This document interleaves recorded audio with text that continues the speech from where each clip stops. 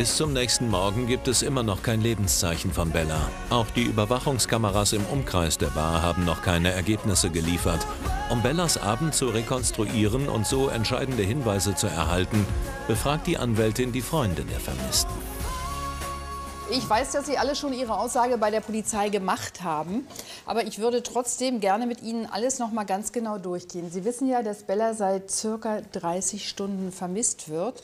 Und wir wollen einfach nichts unversucht lassen, um sie zu finden.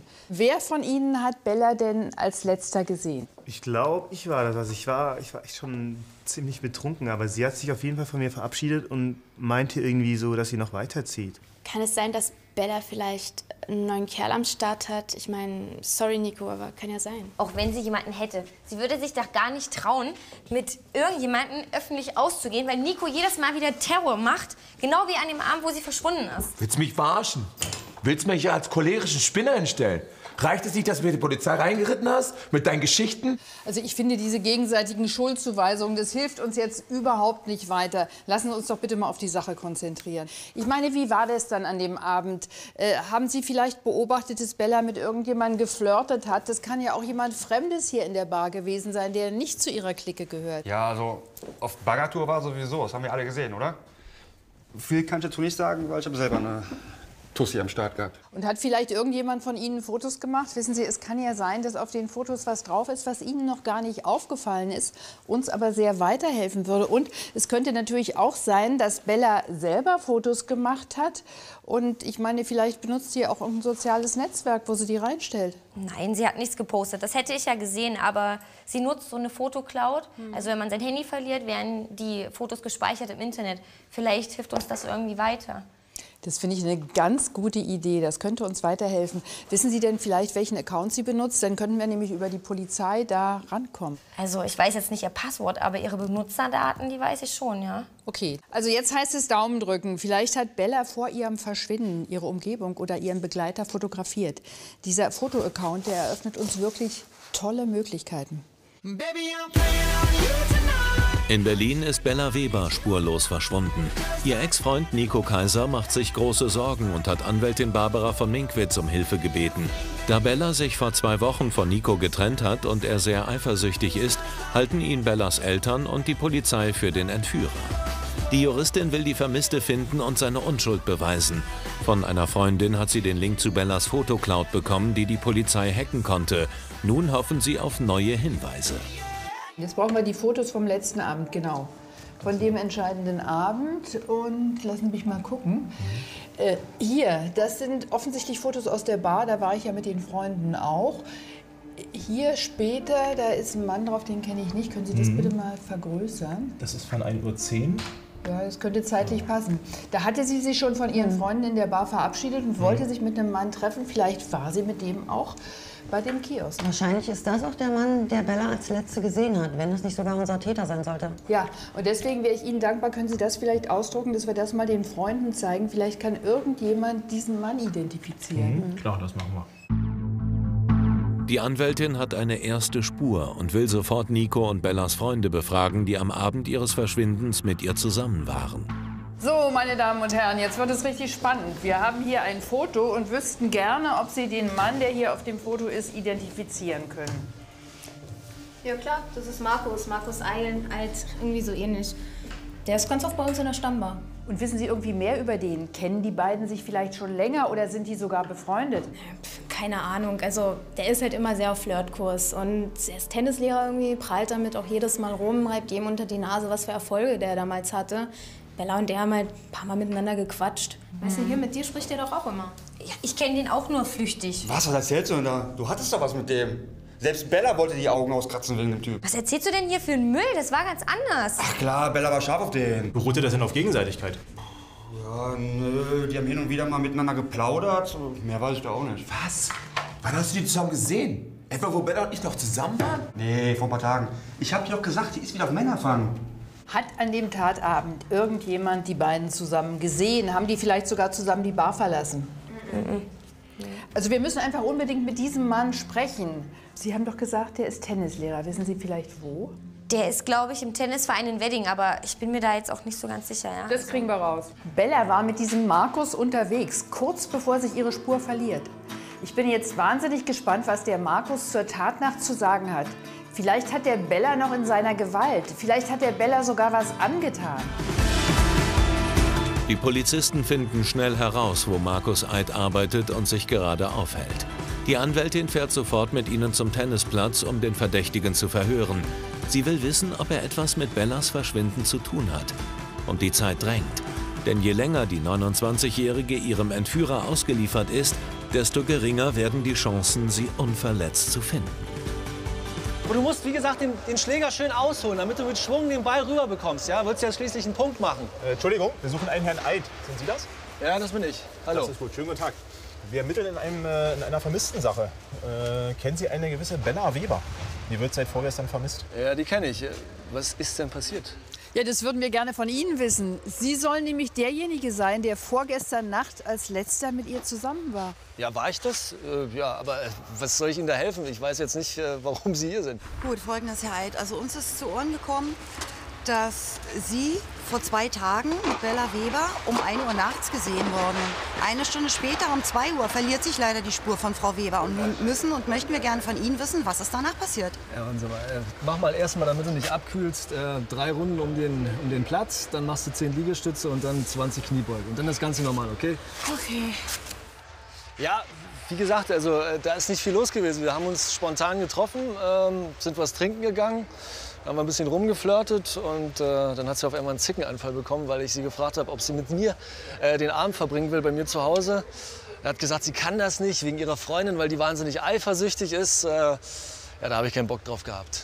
Wie heißt denn diese andere Freundin? Äh, Tina, Tina Merz. Äh, mit der hatte ich mal was, ganz kurz, aber ähm, das ist eine Psychotante, das können Sie sich gar nicht vorstellen. Die hat sich immer eingebildet, dass ich mit ihr zusammen bin. Naja, das habe ich ganz schnell beendet. Ist jetzt ungefähr drei Monate her. Mhm. Okay. Ähm, waren Sie dann an dem Abend mit Frau Bella Weber? Bisschen schneller. Waren ja. Sie denn da in einer, in einer Trankstraße oder in einem Kiosk, der dort in der Nähe ist? Ich kenne die Straßen Berlins jetzt nicht auswendig, aber im Kiosk, äh, da waren wir nicht. Aber sagen Sie mal, waren Sie nicht ziemlich wütend? Ich könnte mir vorstellen, so als gut aussehender Tennislehrer ist es für Sie doch eine Seltenheit, dass Sie so eine Abfuhr kriegen. Ja, ein bisschen, ein bisschen äh, angefressen war ich schon, aber äh, das hat mir nichts ausgemacht, weil ähm, Bella wollte unbedingt nach Hause und äh, ich will da nicht irgendwie so nachhaken oder so, entweder will sie oder sie will nicht. Okay, und dann habe ich sie ziehen lassen und habe an dem Abend noch was anderes dann kennengelernt mich fahren die Weiber ja sowieso ab. Herr Eid, eine Frage noch. Äh, sie haben gerade eine andere Frau erwähnt. Ich meine, das wäre ein gutes Alibi für Sie. Wissen Sie, wie die sie hieß?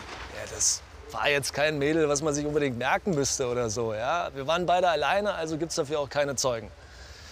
Mehr kann ich auch nicht sagen. Na gut, dann war es das soweit erstmal. Also sollten wir noch Fragen haben, werden wir uns bei Ihnen melden. Und sollte Ihnen dazu noch etwas einfallen, Herr Eid, dann würde ich Sie bitten, rufen Sie mich auf der Wache an. Wir brauchen Sie vorher auch keinen Drink spendieren. Also dieser Markus Eid, der gehört für mich eindeutig zum Kreis der Verdächtigen. Aber auch Tina Merz könnte ein zweites Gesicht haben. Die ist wegen Markus eifersüchtig auf Bella. Vielleicht spielt sie schon die ganze Zeit ein falsches Spiel und hat etwas mit dem Verschwinden von Bella zu tun.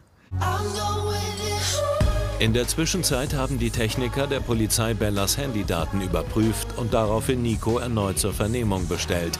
Barbara von Minkwitz weiß noch nicht, was die Beamten herausgefunden haben. Doch sie befürchtet, dass die Daten ihren Mandanten belasten könnten. Sie eilt umgehend zu Nico, um ihn zu verteidigen. Wir haben von dem Handyanbieter der vermissten Frau Weber eine Auflistung bekommen von allen SMS und Anrufen der letzten Woche. Und weiter? Nichts weiter, außer dass fast 80 Prozent der SMS von Ihrem Mandanten Herrn Kaiser stammen. Und dieser Inhalt der SMS, der lässt uns ein bisschen spekulieren. Also ich gebe Ihnen da gerne mal eine kleine Kostprobe. Angefangen mit, ähm, bitte Bella, ich liebe nur dich, lass uns reden, wirf das nicht einfach so weg. Und als er dann gemerkt hat, mit Betteln kommt er nicht weiter, wurde der Ton tatsächlich auch ein bisschen rauer. Zum Beispiel, du bist so feige, dass du nicht mal rangehst. Ich habe alles für dich getan. So behandelt man niemanden. Aber auch daraufhin hat Frau Weber nicht reagiert. Aber ihr Mandant ließ sich nicht abwimmeln. Und Sie können sich das ja. gerne mal durchlesen. Ich entschuldige mich, ich bin mal kurz in der Technik. Ja. Also wissen Sie, ich verstehe überhaupt nicht, was Sie jetzt daran so überrascht. Wir haben doch wirklich zu Beginn der Ermittlungen alle Karten auf den Tisch gelegt. Wir haben gesagt, dass mein Mandant sehr eifersüchtig ist, dass er durch die Trennung extrem verletzt ist. Er hat sogar eingeräumt, dass er widerrechtlich eine Spy-App auf dem Handy von Frau Weber installiert hat. Ja, aber dass er derart krankhaft Frau Weber mit diesen Nachrichten bombardiert hat, das hat er uns komischerweise nicht erzählt. Warum hat er uns das denn verschwiegen? Und über seine Spy-App wird er wahrscheinlich herausgefunden haben, dass sie sich in der Nacht mit diesem Markus Eid trifft und ist hinterhergegangen und dann hat er eine große Dummheit begangen. So war das nicht. Es gibt einen Unterschied zwischen SMS-Schreiben und ein Verbrechen. Sie stellen mich als kompletten Psycho dar. Und das bin ich nicht. Also ich verstehe auch überhaupt gar nicht, warum Sie jetzt den Fokus so auf meinen Mandanten legen. Dieser Markus Eid, der ist auch von Bella Weber zurückgewiesen worden. Also nach Ihrer Theorie müsste der ja genauso verdächtig sein. Und wissen Sie, ich würde Sie wirklich dringend bitten, dass Sie sich die Aussage von dem Markus Eid mal ein bisschen genauer angucken. Der hat eindeutig ausgesagt, dass Bella Weber nachher ein Taxi genommen hat. Und ich meine, da hätte ich an Ihrer Stelle doch schon längst alle Berliner Taxiunternehmen kontaktiert, um herauszufinden, wer die Bella Weber befördert hat. Denn das ist ja nun wirklich keine graue Maus. Sie werden sich wundern, Frau von Minkwitz, das haben wir schon in die Wege geleitet. Und ähm, ich erwarte eigentlich jeden Moment die Ermittlungsergebnisse. Ich schaue mal kurz nach, ja? Kleinen Moment. Ja, danke. Sagen Sie mal, sind Sie eigentlich von allen guten Geistern verlassen, Herr Kaiser? Warum haben Sie mir denn nicht erzählt, dass Sie Bella Weber derartig bedrängt haben? Mir war nicht bewusst, wie ich sie bedränge. Vielleicht habe ich ein bisschen übertrieben. Aber mir ist wichtig, dass wir den überzeugen, dass ich nichts tun würde. Wir brauchen Entlastungszeugen. Sie müssen, wenn diese Vernehmung hier vorbei ist, bitte unbedingt Ihren Freundeskreis kontaktieren und auch den von Bella Weber. Ich brauche alle Zeugenaussagen von denen, die bestätigen, dass Sie nie körperlich aggressiv gegenüber Bella waren. Und dann machen Sie mir bitte eine Liste Ihrer SMSen, und zwar von denen, aus denen sich ergibt, wie sehr Sie Bella Weber geschätzt haben. Wir kämpfen zurzeit an zwei Fronten. Auf der einen Seite steht die dringende Suche nach Bella Weber. Je mehr Zeit vergeht, desto größer ist die Gefahr, dass wir sie nicht mehr lebend finden. Auf der anderen Seite brauchen wir eine gute Verteidigungsstrategie für meinen Mandanten Nico Kaiser, denn der wird plötzlich der Hauptverdächtige bei der Polizei. Um Nico verteidigen zu können, benötigt die Anwältin Zeugen, die ihren Mandanten entlasten und aussagen können, dass er Bella gegenüber nie gewalttätig war. Deshalb fährt Nico zu seinem besten Freund Thomas. Er kennt ihn schon seit zehn Jahren und hat seine Beziehung zu Bella von Anfang an miterlebt. Okay, dann mache ich es kurz. Ähm, die Polizei hat mich auf den Kicker. Und ich will denen beweisen, dass ich kein kranker Typ bin. Und äh, dafür brauche ich dich. Ja, und wie soll ich dir mal helfen? Na, du könntest der Polizei sagen, dass wir uns nie streiten, dass wir immer mit Respekt miteinander umgehen. Vielleicht hast du noch ein paar SMS, wo man sieht, dass sie mir was bedeutet. Ich mache hin und wieder mal so Handy-Backups und es kann sein, ich habe irgendwas gelesen, du hast irgendwas geschrieben, von wegen, dass du immer um sie kämpfen wirst. Aber wenn ihr euch trennt, äh, würdest du es wohl akzeptieren oder irgendwie sowas in der Richtung? Ja, sowas könnte ich brauchen. Aber wichtig wäre, dass du der Polizei sagen könntest, dass Bella und ich an Abend ihres Verschwindens, dass wir uns nicht gestritten haben. Ja, gut. Ja, gestritten. Ähm, also rumgezickt hat ja wohl eindeutig sie. Ne? Mhm. Ich meine, ich hätte mehr auf sie aufpassen können, aber ich war auch megamäßig betrunken. Und aufgrund dessen war ich auch froh, wenn ich abends ins Bett komme. Mehr habe ich auch nicht gesehen. Ach, mach dir jetzt keine Sorgen. Ich rufe meine Anwältin an und die wird dann mit dir die Aussage durchgehen. Okay. Was sind das eigentlich für Geräusche, die ich höre? Das sind die Handwerker. Die sind schon seit einer Woche im Haus. Die machen ja die Heizung irgendwas. Das ist nichts, Ah, okay. ist nichts Wildes. Das sind eigentlich mal gute Nachrichten. Thomas' Aussage wird mir definitiv weiterhelfen. Und ich bin Gedanken wie Soße nur noch bei Bella. Und die Polizei interessiert mich gerade gar nicht. Ich will sie nur noch lebend wiedersehen. Das ist alles. Nico ist verzweifelt. Er will endlich Bella finden und hofft sehr, dass sie unverletzt ist. Noch am selben Tag gibt es Neuigkeiten und der 34-Jährige macht sich sofort auf den Weg zu Barbara von Minkwitz. Die Polizei ist der Idee der Anwältin gefolgt und hat die Berliner Taxiunternehmen kontaktiert. Es ist so, die Polizei hat den Taxiunternehmer gefunden. Bitte sehr. Dessen Fahrer in der besagten Nacht in der Trankstraße Bella aufgenommen hat. Und zwar auch noch zu der Uhrzeit, die wir vermuten. Ach, was hat er gesagt? Nee, der Fahrer ist gerade erst im Polizeipräsidium vorgeladen worden und hat noch nicht ausgesagt. Wir wissen aber schon so viel, dass er einen Mann und eine Frau befördert hat. Und wenn der uns jetzt diesen Mann beschreiben kann, dann führt uns das zum Täter. Und damit sind Sie automatisch aus der Schusslinie. Jetzt kommt es auf die Aussage des Taxifahrers an. Die Polizisten sind gespannt, was Albert Schröder über den Abend, an dem Bella verschwunden ist, zu berichten hat und wer mit ihr in seinem Taxi gefahren ist. Denn das könnte ihr Entführer sein. Ja, das ist sie. Da bin ich sicher. Sehr hübsches Mädchen. Okay, schön. Ähm, es ist auch richtig, dass sie in Begleitung war. Das stimmt, ja? Ja, es war ein Mann dabei. Äh, beide waren äh, leicht angetrunken, äh, fröhlich und haben gekichert. Na, das passt ja wunderbar zu der Beschreibung von dem Kioskverkäufer. Ähm, sagen Sie, können Sie uns den Herrn, der dabei war, ein bisschen genauer beschreiben? Äh, klar, der hatte so dunkle Haare, äh, war hier so rasiert, äh, ein bisschen Bart, äh, auch hübsch und eine tiefe Stimme. Aber in dem Zusammenhang wüsste ich auch gerne, haben Sie schon was mit Ihren Entlastungszeugen unternommen? Ja, ich habe schon mit ein paar gesprochen, aber ich glaube, dass Thomas mir am besten helfen kann. Er kennt Bella genauso gut wie ich und er weiß alles über mich. Er hat alles über die Beziehung mitbekommen. Das hört sich gut an, aber können Sie sich auf den Thomas denn auch wirklich verlassen? Ich meine, versteht er eigentlich, warum Bella sich von Ihnen getrennt hat? Nee, er meinte, dass wir gut zusammenpassen und ich das Beste bin, was Bella jemals passieren könnte. Und dass er sich auch Sorgen um sie macht. Er hat sogar gesagt, dass es leid tut, dass er nicht in der Bar auf sie aufgepasst hat, dass er äh, besoffen war und nur noch nach Hause wollte. Wie bitte? Wann hat er denn das gesagt? Vorhin? Na, als wir geredet haben. Ja, aber das passt doch überhaupt nicht zusammen. Ich meine, als wir alle zusammen mit Ihren Freunden in der Bar gesprochen haben, da hat er gesagt, er wäre früher nach Hause gegangen, weil er ein Mädchen am Start gehabt hätte. Ja, vielleicht ein Mädchen, aber besoffen halt, ja. Ja, aber da stimmt doch irgendwas nicht, wenn er zu Ihnen sagt, dass er früher nach Hause gegangen ist, weil er so betrunken war, dass er einfach nur noch ins Bett wollte. Und was wollen Sie damit sagen? Dass Ihr Kumpel lügt. Da stimmt irgendwas nicht. Und das werde ich jetzt mal klären. Oh, Entschuldigung. Ja, Schneider? Okay, na das hilft uns ja schon mal Ah, Frau von Minkwitz. Ja, Das ist ja schon mal etwas. Ja, der Taxifahrer, Herr Ähm, Schröder, der ist gerade bei uns im Gespräch und der hat. Ah, ja, aha. Woher wissen Sie das? Okay. Ja, dann geben Sie mir doch mal bitte die Adresse. Okay, dann würde ich Sie bitten, dass Sie erstmal nichts unternehmen und da auf uns warten. Und ich mache mich sofort auf den Weg mit meinem Kollegen. Ja, bis gleich. Seit zwei Tagen wird die 29-jährige Bella Weber vermisst. Ihr Ex-Freund Nico Kaiser befürchtet, dass sie entführt wurde und hat Barbara von Minkwitz eingeschaltet. Die Anwältin findet heraus, dass Nikos bester Freund Thomas bei seinen Aussagen gelogen hat. Er war auch noch nach dem Barbesuch mit ihr zusammen. Die Juristin, ihr Mandant und die Polizisten fackeln nicht lange und wollen ihn sofort zur Rede stellen. Schönen Tag, Herr Reuter. Wir wollen mal reinkommen. Wir hätten noch mal ein paar Fragen noch mal an Sie. Ja, wo ist das Problem? Klären wir gleich. Hast du uns angelogen? Wo ist Bella? Mal ruhig, hör mal. Herr Reuter, wir vermuten eigentlich ganz stark, dass Sie den Rest des Abends mit Bella Weber verbracht haben. Sind in ein Taxi eingestiegen und dann verliert sich komischerweise die Spur von ihr. Und deswegen gehen wir davon aus, dass Sie ganz genau wissen, was mit Bella passiert ist und wo sie ist. Ja, ich habe da was vergessen zu sagen. Ähm, ja, ich habe sie noch mal gesehen am Abend. Da haben wir uns ein Taxi genommen, sind zurückgefahren. Und mehr war da nicht. Ich höre hier was. Frau Weber! Barbara von Minkwitz reagiert sofort und ruft die Beamten zu Hilfe.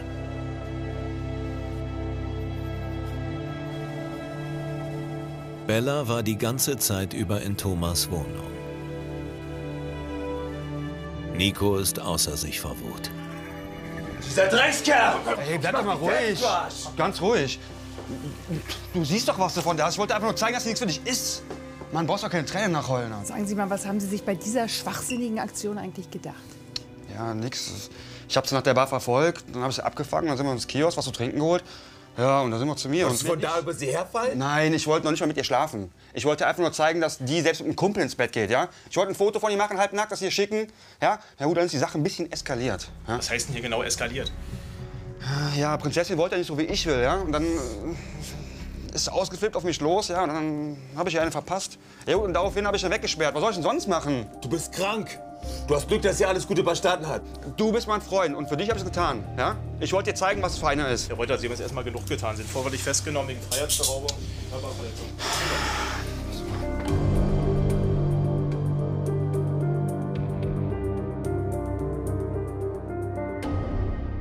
Das ist wirklich gerade noch mal gut gegangen. Frau Weber ist nahezu unversehrt und Nico Kaiser zum Glück nicht mehr tatverdächtig. Ich hoffe, dass Frau Weber sich jetzt sehr schnell von ihrem Schock erholt und bald wieder ein ganz normales Leben führen kann.